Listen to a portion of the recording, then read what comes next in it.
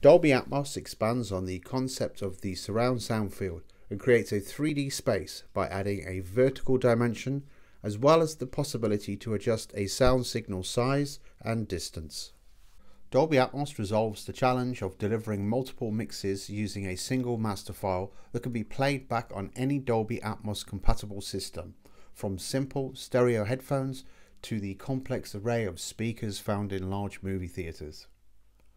Mixing in Dolby Atmos requires additional computer resources and you'll have to adjust the I.O. buffer size to relieve some of the pressure on the CPU. In order to avoid experiencing latency created by the larger buffers and overload in the CPU, the recommended workflow is to separate your production into two stages. First, complete all live software instrument performances and audio recordings and start a rough stereo mix. Second, convert the Logic project to Dolby Atmos to continue the mix and position the tracks in the surround field. Before you can start mixing in Dolby Atmos, you must take a few steps to ensure your mix does not distort and you can monitor the panning as expected on your stereo monitors. My stereo track here and we're going to begin by adjusting the preferences. So we're going to go to Logic, Preferences, audio preferences and we're going to go to our IO buffer here and we're going to increase that to 512 we might do that anyway on uh, when we're mixing. Bear in mind when mixing in Dolby Atmos projects with a sample rate of 44.1 or 48 kilohertz need a buffer size of around 512 samples projects with sample rates of 88.2 or 96 will need uh, 1024. So currently Dolby Atmos supports 48 and 96 kilohertz sample rates.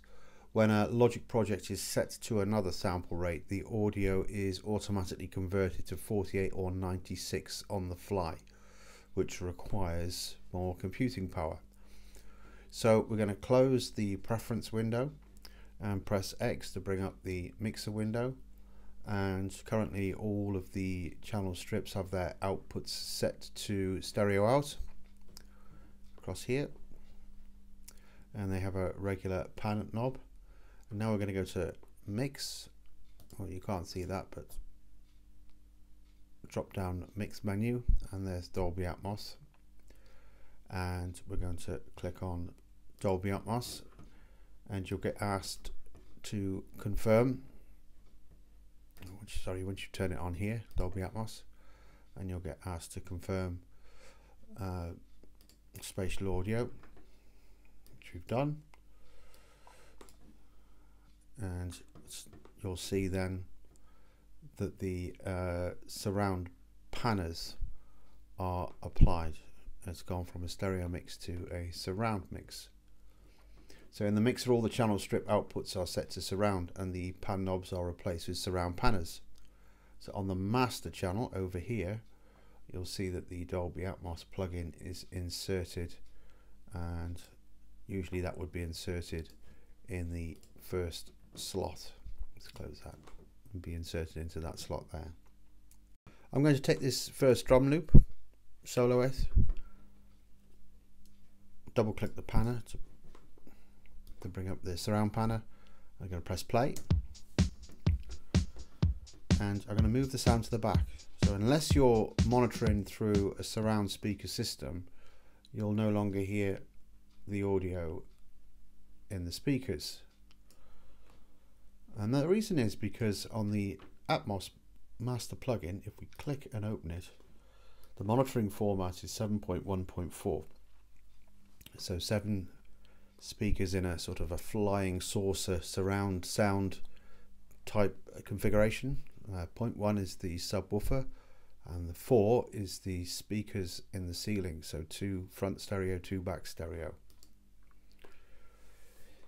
So if I now change the monitoring format to, let's say, Apple uh, Renderer, the sound returns. So as of these are our binaural uh, formats. So we have Dolby Renderer and Apple Renderer. So uh, at the time of this video, we have the Apple Renderer, which uh, will enable head tracking for supported devices such as AirPods, and we've also got Apple, uh, sorry, uh, renderer for built-in speakers for newer Macs with Dolby Atmos speakers. If you're on one of these surround uh, monitoring formats and you're not using a multiple speaker array, you've just got stereo speakers and you pan your sound to the back and you still hear a sound, then your input output assignment needs to be reconfigured. So if you go to logic, preferences and audio, and here you'll see IO assignment. We click that and you'll need to reconfigure this according to your speaker uh, setup. So for example, if I change this left surround to 1, so this is the left surround, and I change it to 1, then I start to hear a sound as it's now coming out of the this one here. So once you've set up your surround format, we'll just go to Apple Renderer and stop. You may notice some distortion. Now if I play that notice some distortion coming through so um, you might need to handle the levels uh, a little bit. So handling the loudness in uh, Dolby Atmos is done this way. So when mixing in Dolby the loudness level of the mix should stay at or below minus 18 dB uh, LUFS LUFS at all times so in order to achieve that goal, we'll create a mastering chain of plugins that lets you adjust the gain of the audio signals and meter its levels in specific positions on the master channel strip. So on the master channel strip, position the mouse pointer so that you see a line above the Dolby Atmos plugin. And we're going to go to, I'm going to change that gain plugin, I'm going to change it to multi-channel gain. So I'm going to click here, I'm going to go to utility, multi-channel gain, and we're going to have that. And then next we're going to have some limiting. So we're going to click there and we're going to go to um, dynamics, I think then. And we're going to choose a 7.1.2 limiter. And then below that we're going to go to we're going to put a level meter here. So we're going to go to metering and level meter. And below the Atmos plugin so all of those are before but below the Atmos plugin we're going to go to uh, metering again. And this time we're going to choose 7.1.4 loudness meter. So you won't need the Dolby Atmos plugin for this exercise. So let's make some room on your screen. So close the Dolby Atmos plugin if it's still open.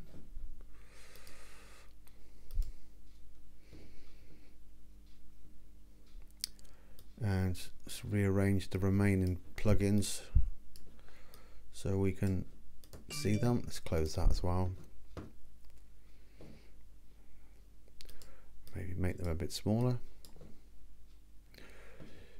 So let's just start the playback at a point where it's at its loudest.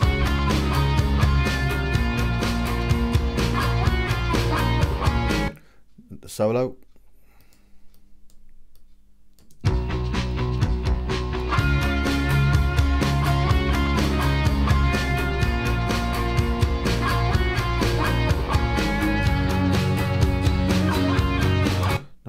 Do is I want to position on the level meter here I want to position this line that sort of defaults at uh, minus 12 down to minus 18 you'll see it says minus 18 on the other side over there. And um, see at the moment the left and right are quite hot because most of the signals are being sent left and right but I can turn everything down globally here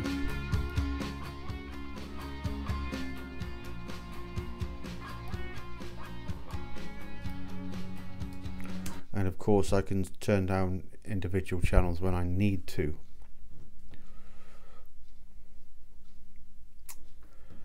So this um, level meter shows sort of momentary loudness and reacts quickly to gain changes.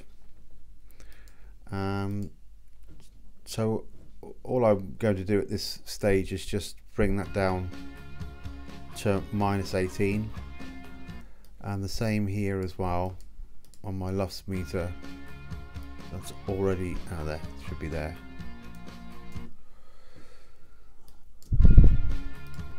And the limiter isn't doing anything at the moment but I'll just put it in there for the time being so that's how I can sort of create headroom as you can see got headroom going on before I start panning sounds around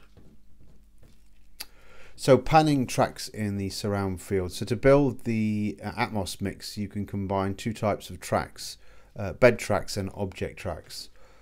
The tracks that make up the foundation of the mix are called bed tracks. You use object tracks for elements of the mix you want to feature such as lead vo vocals, uh, lead instruments or specific special effects, especially when you want to precisely locate a sound source or move it around the surround field using automation. So panning bed tracks. So bed tracks are panned using the surround panner. This one. So if you've worked in surround sound before, you'll recognize this surround panner. And let's just take the drum as an example.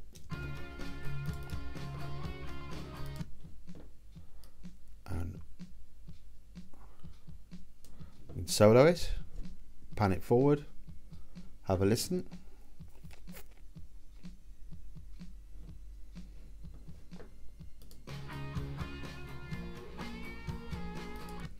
what we can do here as well is we can um, adjust the position as such. Uh, we can also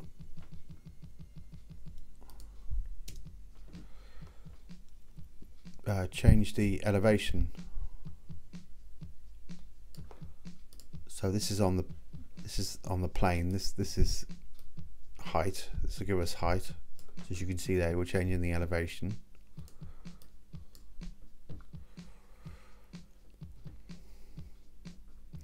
There's the uh, a level to adjust the center signal, and there's a level there to send signal to the LFE, the low frequency effect, the subwoofer.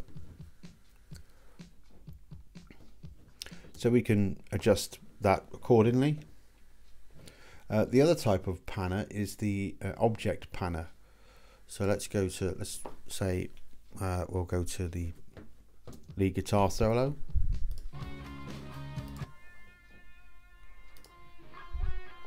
So there's the solo and there's the effects. So we're going to go into the output window and we're going to choose 3D object panner.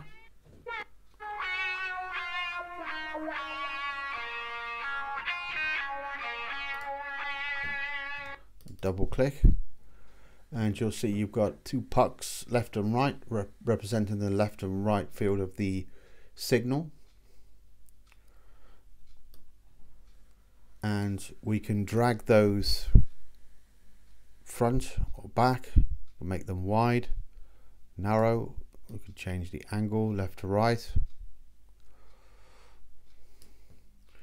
And we can also here change the height.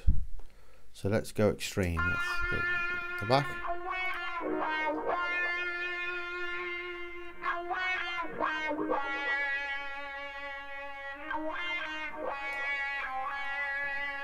and we can adjust the size here.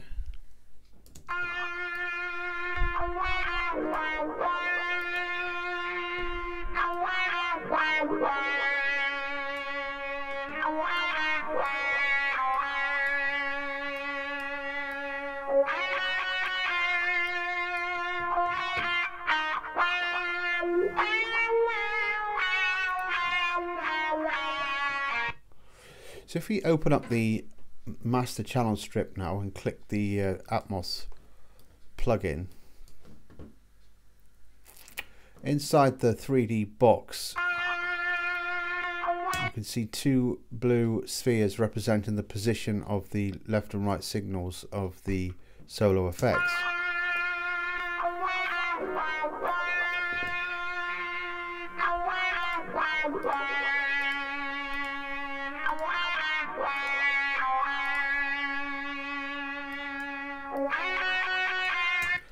If I now just uh, drag that down, you'll see those sounds move down.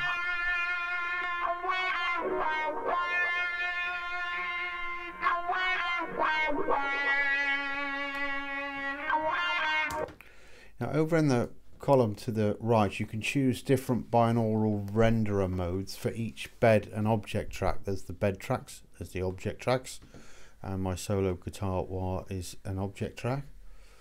So if we click in the binaural renderer we can choose, uh, should be able to choose, ah, it should be in Dolby renderer, sorry, needs to be in Dolby renderer not Apple renderer and we can choose off, near, mid and far. So I'm going go to far.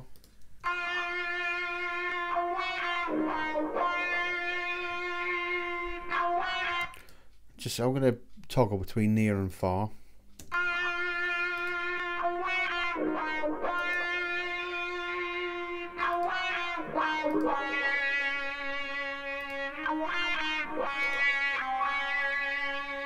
And you should be able to hear the effect that that's having on the sound. Logic Pro comes with a suite of audio effects plugins that are compatible with the Dolby Atmos format. So you've probably used some of these before. So what we're going to do is we're just going to put on a tremolo effect on the solo guitar. So I'm going to go here just below the SSL plugin and I'm going to choose tremolo from modulation and I'm going to go stereo to 7.1.2 and now I've got my 7.1.2 tremolo effect so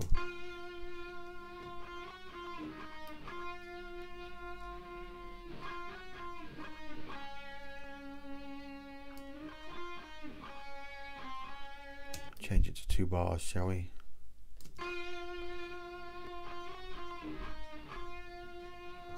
And you can see the circulation. So we go circular left to right front to rear random.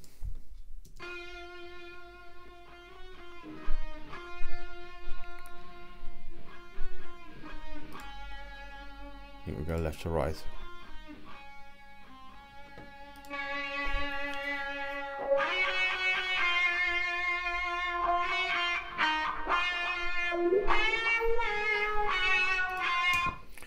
Uh, we also have surround uh, reverbs, so we can add perhaps some reverb to this acoustic guitar.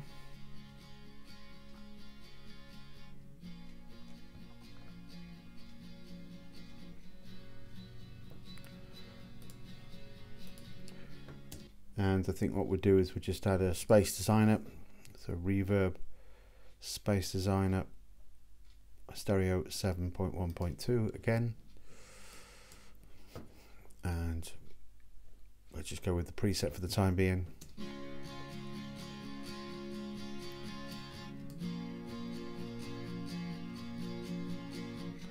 So we have these balance controls, so bottom, top, front, rear, center and LFE.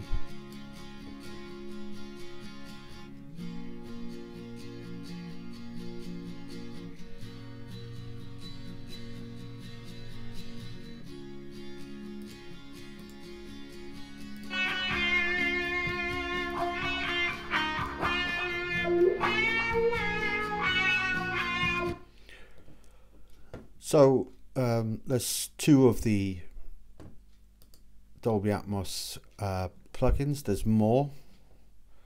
Uh, I think there's about six in all. And you literally have to. Sorry, I'm on the wrong channel. I should be on a. Yeah, that's correct. You literally just have to go through them and find them. Like so. Chorus, flanging, microphase, modulation delay, and so on.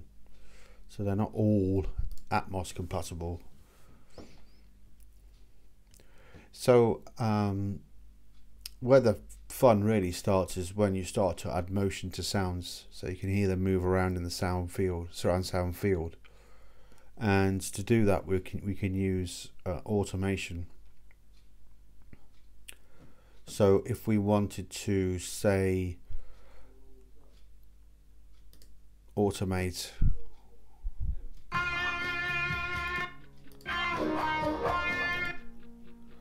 to say we wanted to move that guitar to the back. So there's there's the guitar left and right. Put it there. And let's say we wanted to automate it so it moved to the back. Uh, what we're going to do is we're going to turn on our automation but we're going to use uh, latch which is online. So I think most most of you would probably use offline automation read for example where you just draw it in but we're going to latch. So we'll get we're going to draw it in on the actual plugin itself so all I'm going to do is I'm going to play I'm going to move that back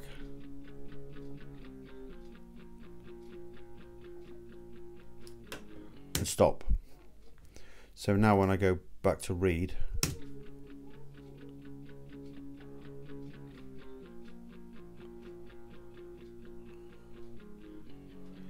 So that's not something that I would do in the mix. That's just to demonstrate how automation can be used on a uh, Atmos mix. These uh, these these are new parameters, if you like, with Atmos, uh, where you've got sort of height as well. So if I was to say adjust the height of this solo so it gets higher, again I'd go to latch.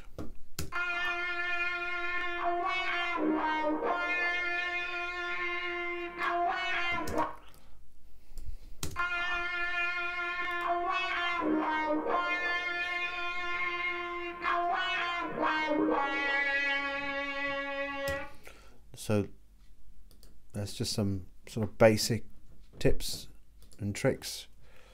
Um, what I do like to do is I like to sort of build up the mix from from the top. So if I just go through this quickly there's a drum loop. Uh, I'm getting more into the habit of actually putting everything through uh, the bed sorry object tracks rather than bed tracks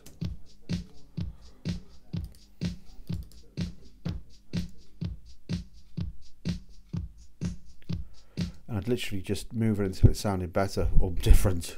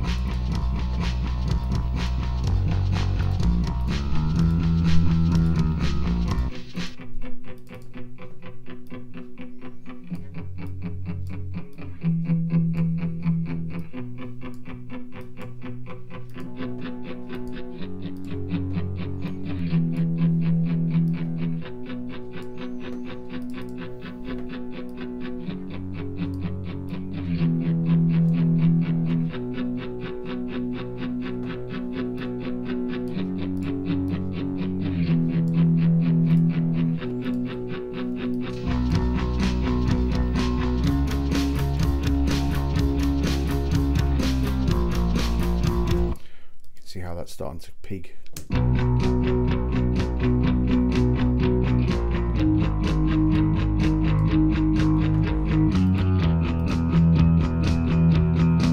Don't forget, don't forget buses as well.